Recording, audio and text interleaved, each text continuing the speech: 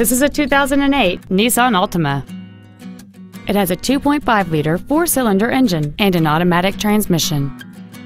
Its top features include full power accessories, a multi-link rear suspension, a four-wheel independent suspension, an engine immobilizer theft deterrent system, 12-volt power outlets, a low tire pressure indicator, an anti-lock braking system, side curtain airbags, and cruise control.